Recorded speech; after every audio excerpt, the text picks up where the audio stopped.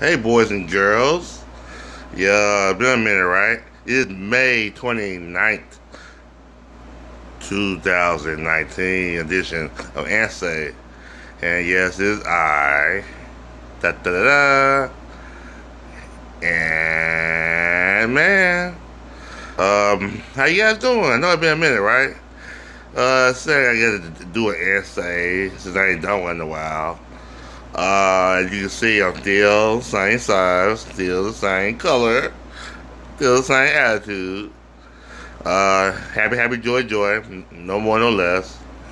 Uh, it's summertime now, and just past Memorial Day weekend, which make me come to an answer. And not an important answer, but just one I, I said I've done one in a while, so let me just shoot the breeze on one. And y'all all have been begging me to do one for a while, so here it goes. I just I was just wondering though, though. Since like said, Memorial Day weekend just passed, just literally just passed, and and and I realized that we as people always have to uh, regionalize our foods.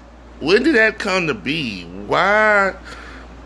The us being United United States of America, keyword United. Why it's so important to know where our foods, not where it come from, but where it was from when it was made, like Philly cheese sandwich or New York style pizza, Chicago style pizza, or Kansas City barbecue or Memphis barbecue or list goes on and on like Kentucky fried chicken. Like why is so important where these wonderful um, foods come from? Like I know someone in France or somewhere in Italy is like fuck you. Oh, I almost cursed it. I'm sorry. Uh, put F there. Blank you, U.S., for taking out pizza and running with it. Like, this is an Italian dish. Last time I checked, strombolis and stuff, like, that's ours. How you gonna run with that? You know what I mean? Well, we, well, we, we, make Civil War out of dishes just to make them sound greater. And just, you know, let them be. Let them be just a cheeseburger. Why gotta be a, a, a uh, American cheeseburger?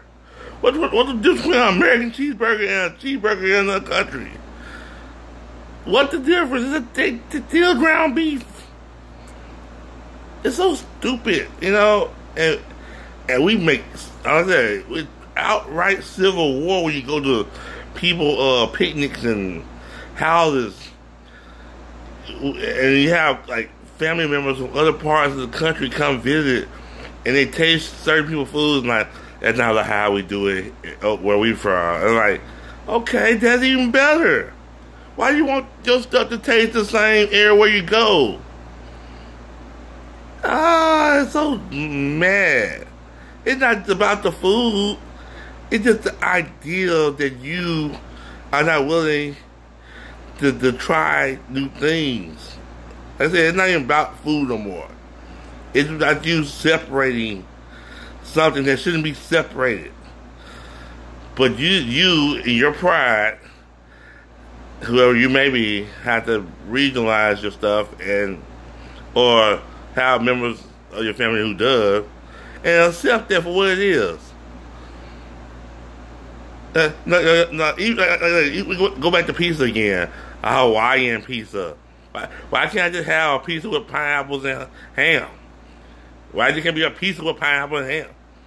Why I gotta be Hawaiian? Why have it just the re- region again? Like, oh no, it's just weird to me how you know we we always get. no, friends, she's a big fan of um, uh, Wendy's Southwestern uh, salad. Ooh, you have black beans on it, not Southwestern.